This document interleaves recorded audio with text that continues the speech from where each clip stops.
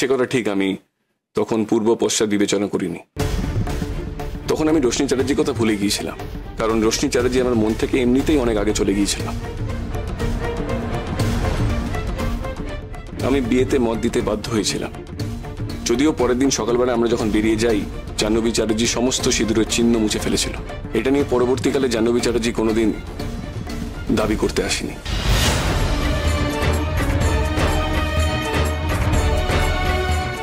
আমি সেই সূত্রে জাহ্নবী চ্যাটার্জির কাছে কখনো কিছু চাইনি যেটাতে উনি ইতস্তত বোধ করেন। আমরা আমাদের ভবিষ্যৎ মেনে নিয়েছিলাম। আমরা আমাদের জীবনটাকে অ্যাকসেপ্ট করে নিয়েছিলাম। আমি শুধু চেয়েছিলাম জাহ্নবী চ্যাটার্জি পড়াশোনা করে নিজের পায়ে দাঁড়াক। আর তার সেই দাঁড়ানোতে আমি অনেকটা হেল্প করেছি। কিন্তু আমি অবিলম্বে জানতে পারি রোশনি চ্যাটার্জির বাবা আর জাহ্নবী চ্যাটার্জির বাবা এক।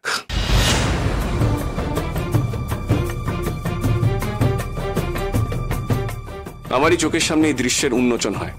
আমি সব জানতে পারি এবং শুনতে পারি। স্বাভাবিকভাবে রোশনি চ্যাটার্জির বাবার প্রতি আমার এক সাংঘাতিক ভাবনা তৈরি হয়। এবং তখন আমার উদ্দেশ্য হয় জাহ্নবীকে তার বৃত্তির পরিচয় ফিরিয়ে দেয়া।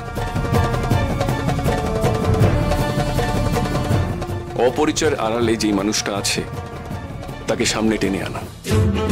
সেটা করার ফলে রোশনি চ্যাটার্জির পরিবার যখন জানতে পারে, জাহ্নবী চ্যাটার্জি তার নিজের বোন, সেই সত্যকে একসেপ্ট করার জায়গায় সেই সত্যের বিরোধিতা করতে থাকে এবং জাহ্নবীর প্রতি অত্যাচারের মাত্রা বাড়িয়ে দেয়। রোশনি চ্যাটার্জি জাহ্নবীর প্রতি যত অত্যাচার বাড়িয়েছে, তত আমি তার থেকে আরও দূরে সরে এসেছি। হয়তো সেটাও বুঝতে পারে। তার জন্য হয়তো জাহ্নবীকে মিথ্যে ভালোবাসার ভান করে।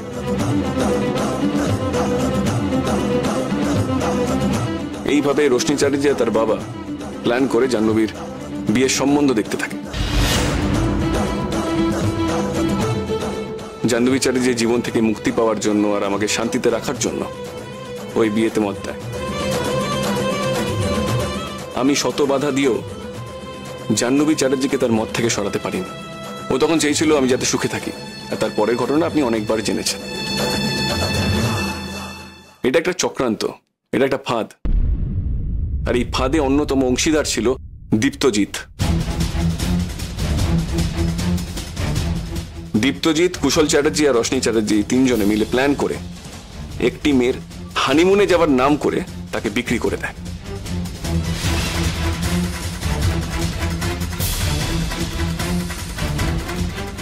আমি যখন জাহ্নবী চ্যাটার্জির কাছে গিয়েছিলাম, তখন জাহ্নবী চ্যাটার্জি আমাকে ফিরিয়ে দেয়। জাহ্নবী চ্যাটার্জি তখন ফিরে আসতে চাইনি কিন্তু আমার শপথ ছিল, ওকে একটা সুন্দর জীবন উপহার দেয়া।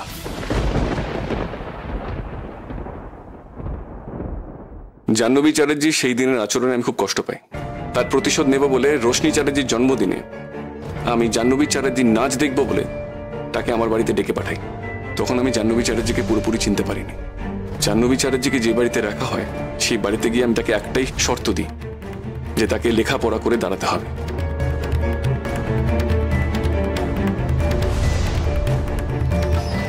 ওই জীবন তাকে পরিত্যাগ করতে হবে। শেষ পর্যন্ত জাহ্নবী চ্যাটার্জি আমার কথা মানে ফেলতে পারে না। সে পরীক্ষার জন্য তৈরি হয়, আর আমি প্রত্যেক দিন তাকে পড়ানোর ব্যাপারে সাহায্য করি। এবং স্বাভাবিকভাবেই জাহ্নবী চ্যাটার্জির প্রতি অনুরাগ অনেক বেশি বৃদ্ধি পায়। যে মেয়েটা আমার জন্য ফিরতে চায়নি, যে মেয়েটা আমার জন্য সব থেকে জঘন্যতম জীবন বেছে নিতে পারে, সে মেয়েটাকে ভালো না বেসে থেকে পারা যায়। আমি উন্মুক্ত কণ্ঠে স্বীকার করছি। আমি জাহ্নবী চ্যাটার্জিকেই ভালোবাসি।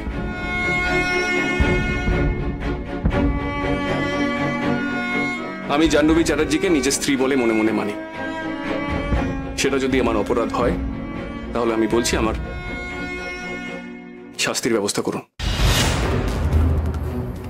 কিন্তু একই সঙ্গে যারা চূড়ান্ত শাস্তিযোগ্য অপরাধ করেছেন তারা সঠিক বিচার পাবে সেটা আশা করি। একটি মেয়েকে বিয়ে করে বাজারে বিক্রি করে দিয়ে নিশ্চয়ই সেই বিয়েটাকে অক্ষত রাখা যায় না।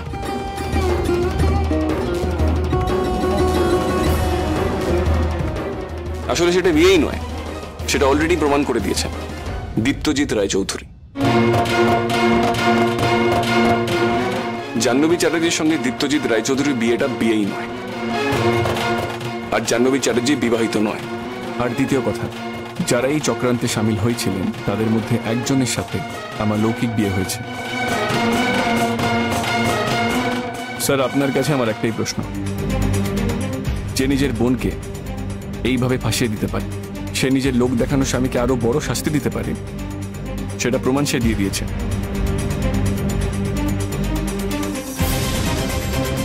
তাই এরকম একটি মেয়ের সঙ্গে বিবাহ বন্ধনে বেঁধে থাকা আমার পক্ষে যে কতটা ক্ষতিকর, সেটাই একবার ভেবে দেখার জন্য অনুরোধ জানাই। এই আমি অস্বীকার করি। আমার যে শাস্তিই হোক। একজন মানুষ যদি আরেকজন মানুষের সঙ্গে থাকতে না চায়, তাকে কেউ কোনোদিন জোর করতে পারে না।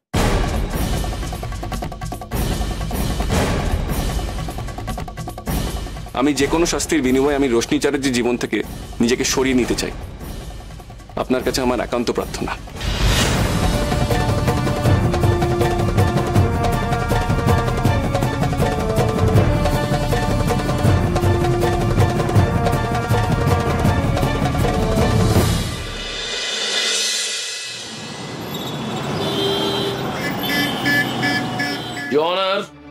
আজ আমাদের সর্বশেষ সাক্ষী রোশনি চ্যাটার্জি।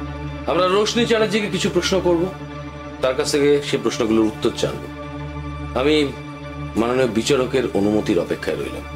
অনুমতি দেওয়া হল।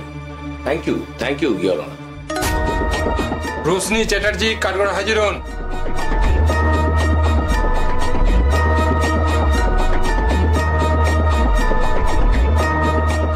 বলুন যা বলিব সত্য বলিব। সত্য ছাড়া মিথ্যা বলিব না।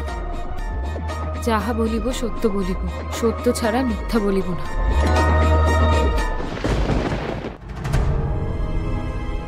আপনার নাম বলুন। রশনি সেন। আপনার স্বামীর নাম? ঋষি সেন। আপনি আপনার স্বামীর বিরুদ্ধে অভিযোগ করেছেন। আচ্ছা আপনি কি চান বলুন তো? আপনার স্বামী শাস্তি পান।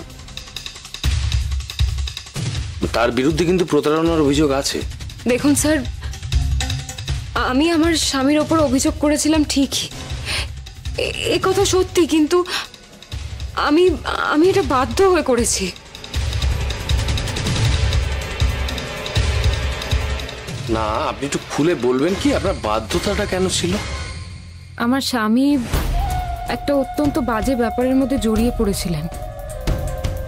একজন অত্যন্ত বাজে মহিলার কাছে উনি রোজ যাতায়াত করতেন। সে মহিলার রেপুটেশন অত্যন্ত খারাপ। আমার স্বামী একটা উচ্চ পদস্থর কর্মচারী। তার কাজের জন্য, তার সততার জন্য, তার ঋজুতার জন্য সবাই তাকে সম্মান করে। আমি চাইনি আমার স্বামী এরম কোনো ঘটনার মধ্যে জড়িয়ে পড়ুক যাতে তার সোশ্যাল রেপুটেশনটা নষ্ট হয়ে যাক। তাই তাই জন্যই আমি ওকে ফেরানোর চেষ্টা করেছি।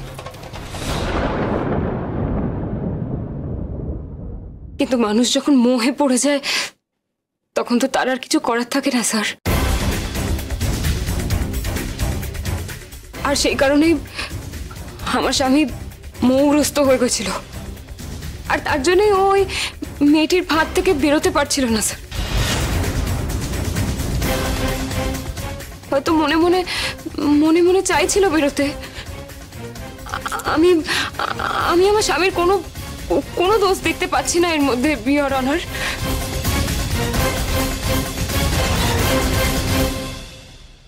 আমার স্বামীর মতো মানুষ আমি আর এই পৃথিবীতে আরেকটা দেখিনি। মানুষের মানবিক গুণ বলতে যা যা বোঝায় আমার স্বামীর মধ্যে সে সব গুণ আছে। Honor, আমি আমার স্বামীকে খুব শ্রদ্ধা করি আর ভালোবাসার কথা তো ছেড়েই দিলাম। তাই আমি ভেবেছিলাম যে এইভাবে আমি, আমার স্বামীকে এই চক্রান্ত থেকে বের করে আনতে পারব। এখন আপনি কি চান একটু বলবেন?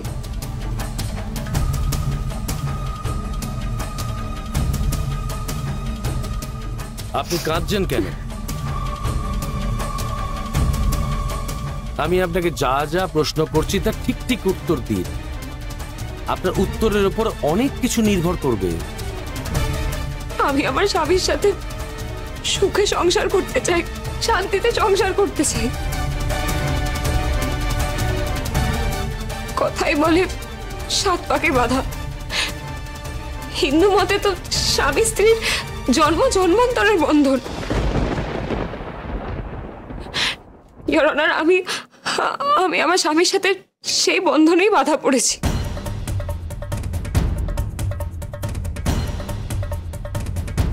আমি আর অন্য পাঁচটা সতী সাথী মেয়ের মতো আমার স্বামীকে শুভতে ফিরিয়ে আনতে চাই আর তার সঙ্গেই সংসার করতে চাই। আমি আমি আবারও বলছি আমার স্বামীর মতো মানুষ হয় না। আমি যে আমার স্বামীর মতো মানুষকে আমার হাজবেন্ড হিসেবে পেয়েছি তাকে ছেড়ে যাওয়ার কথা আমি আমি কখনো ভাবতেও পারি না। দেখুন আমি যখন আপনার স্বামীর সঙ্গে কথা বলেছি তাকে ইন্ট্রোগেট করেছি তাকে দেখেছি উনি কিন্তু আপনার আপনার সম্পর্কে খুব খারাপ ধারণা পোষণ করেছেন। ইনফ্যাক্ট আপনার স্বামীর কিন্তু আপনার উপর কোনো সম্মান নেই।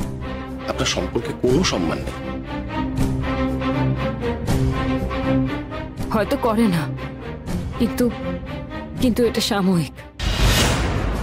আমার স্বামী যে আমাকে কতটা ভালোবাসে, কি ভালোবাসা যে আমি পেয়েছি সেটা শুধু আমি জানি।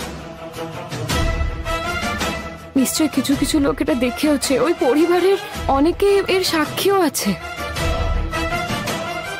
তবে হ্যাঁ আমার স্বামী যদি সাময়িকভাবে আমার থেকে মুখ ফিরিয়েও নিয়ে থাকেন, আমি কিন্তু কখনোই ওর থেকে মুখ ফেরাতে চাইনি। আমি আমি ওকে আগে যতটা ভালোবাসতাম আমি এখনও ঠিক ততটাই ভালোবাসি। আমি আগে ওকে যতটা সম্মান করতাম আমি এখনও ততটাই সম্মান করি। মানে আপনি কি মনে করেন আপনার সংসার ভাঙার মূল কারণটা কি ছিল? মানে আপনার দিক থেকে কোনো ত্রুটি ছিল? স্যার আমাদের আমাদের সদ্য সদ্য বিয়ে হয়েছিল। খুব বেশি দিন হয়নি আমাদের বিয়ের। সাধারণত নতুন বিবাহিত কাপলদের মধ্যে কোনো ফাঁক থাকে না। কিন্তু আমাদের ক্ষেত্রে ফাঁকটা তৈরি করা হয়েছিল। ইনফ্যাক্ট আমার, আমাদের বিয়ের আগে থেকেই তৈরি করা হয়েছিল আর আমি সেটা জানতাম না।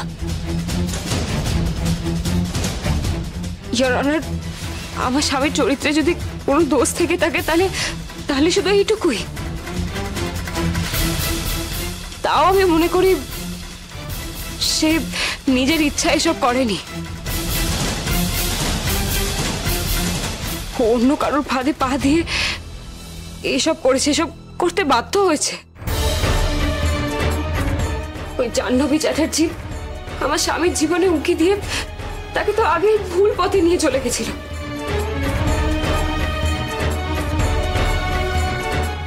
যার জন্য আমাদের বিবাহিত সম্পর্ক সফল হলো না, সুখের হলো না। অথচ আমরা পরস্পর পরস্পরকে কতই না ভালোবাসতাম। কতটা পরিকল্পনা করে আমরা এই বিয়েটা করেছিলাম। আমাদের সম্পর্ক তো আর একার দিনের নয়, অনেক দিনের সম্পর্ক। তার মানে আপনি বলতে চাইছেন যে আপনার এই সংসার ভাঙার জন্য, আপনার জীবনে যা যা কিছু ক্ষতি হয়েছে, এই সমস্ত ক্ষতির জন্য দায়ী একটাই নাম তাই তো? জাহ্নবী চ্যাটার্জি। খুব দুঃখের সঙ্গে হলেও আমি এই কথাই বলছি অরনার আমার জীবনের সমস্ত স্বপ্ন, সবকিছু ভেঙে দেওয়ার মূলে ওই ওই জাহ্নবী চ্যাটার্জি।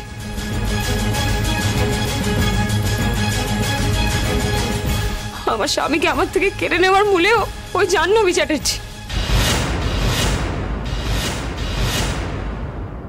জাহ্নবী চ্যাটার্জি যখন ছিল না, আমার আর আমার স্বামীর মধ্যে কোনো গন্ডগোল ছিল না, কোনো অসুবিধে ছিল না।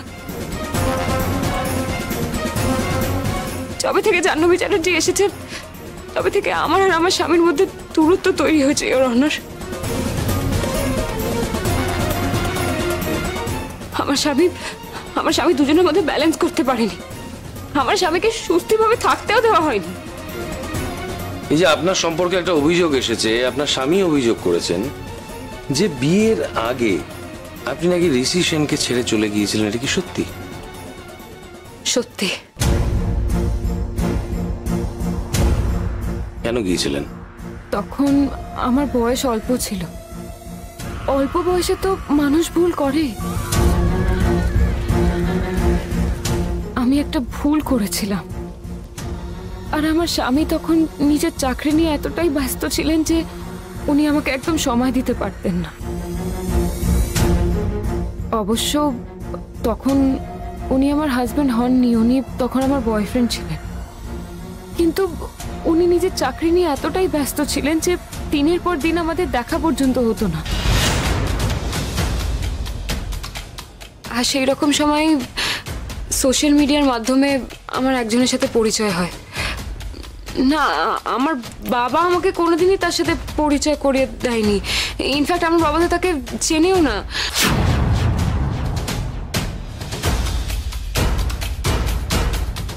তারপরে তার মিষ্টি মিষ্টি ভালো ভালো কথায় আমি আমি ভুলে যাই। খানিকটা অভিমান বশত আর খানিকটা মোহ পড়েই আমি তার সঙ্গে মেলামেশা শুরু করি। কিন্তু তারপর আর কিছুদিন পরেই আমি আমি বুঝতে পারি যে এই পৃথিবীতে ঋষি ছাড়া আমি আমি আর অন্য কারোর সাথে থাকতে পারব না। আর কারোর সাথে আমি থাকতেও চাই না। তারপরে তারপরে আমি ঋষির কাছে ছুটে চলে যাই। আমি ঋষির কাছে গিয়ে ক্ষমা চাই, আমি ওর পরিবারের লোকের কাছেও ক্ষমা চাই। ইনফ্যাক্ট ওর পরিবারের লোকেরা আমাকে খুব সহজেই ক্ষমা করে দেয়। আসলে ওরা ওরা আমাকে খুবই ভালোবাসেন আমাকে তো ওরা অনেকদিন ধরে চেনেন, আর ওরা জানেন আমি কীরকম টাইপের মেয়ে। আমি ওদেরকে খুবই ভালোবাসি। এই ফিরে আসায় ওরা যেমন খুশি হয়েছিলেন, আমিও তেমনই খুশি হয়েছিলাম।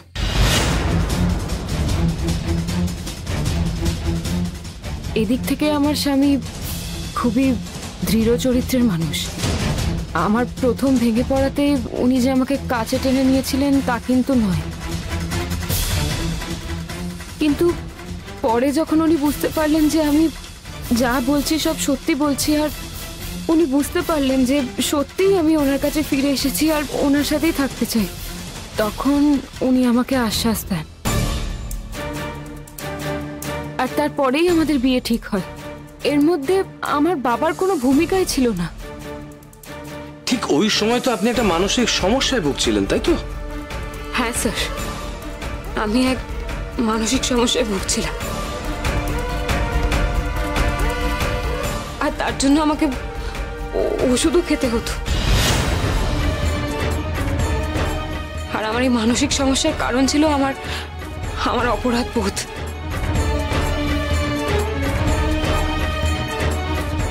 আমার খালি মনে হতো যে আমি বোধহয় আমি বোধহয় ঋষির সাথে ঠিক করিনি, আমি ওকে ঠকিয়েছি। আর তাই জন্যই আমি, আমাকে ওষুধ খেতে হতো।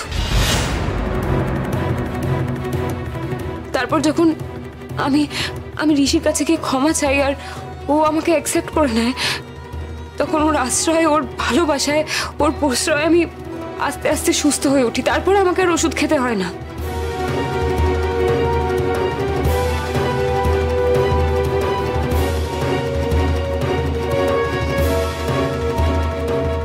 আচ্ছা এবার একটা অত্যন্ত প্রয়োজনীয় কথা বলব। জাহ্নবী চ্যাটার্জির সাথে আপনার কোনো সম্পর্ক আছে? মানে ব্যক্তিগত সম্পর্ক আছে? দেখুন, আপনারা যা শুনেছেন, আমিও তাই শুনেছি।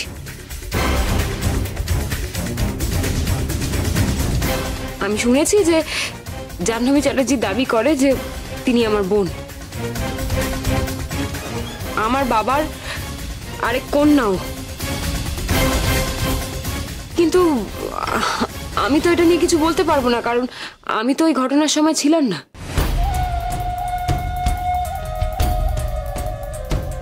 তবে হ্যাঁ আমার পরিবারে আমি এরকম কথা কখনো কোনোদিনও শুনিনি। তাই এটা সত্যি হতেও পারে, নাও হতে পারে, আমার এটা নিয়ে কিছু বলার নেই। ধরুন যদি প্রমাণ হয় যে জাহ্নবী চ্যাটার্জি আপনার নিজের বোন। তখন আপনি কি করবেন? সত্যি যদি প্রমাণ হয়ে যায় যে জাহ্নবী চ্যাটার্জি আমার বোন, তাহলে আমি আমার বাবাকে অনুরোধ করব সে সে যেন তার দুই মেয়েকেই অ্যাকসেপ্ট করে নেয়। আর সেই জন্যই সে যেন তার দুই মেয়েকে সমানভাবে তার উত্তরাধিকারী বলে মেনে নেয়। না না, আমি সেটা বলছি না। তখন কি ঋষি সেনের সঙ্গে জাহ্নবী চ্যাটার্জির এই সম্পর্কটাকে আপনি অন্য মাত্রায় দেখবেন? তা আমি দেখতে পারব না, স্যার। কারণ একজন মহিলা সব করতে পারে, সব দেখতে পারে, কিন্তু নিজের স্বামীর ভাগ কোনোদিনও কাউকে দিতে পারে না।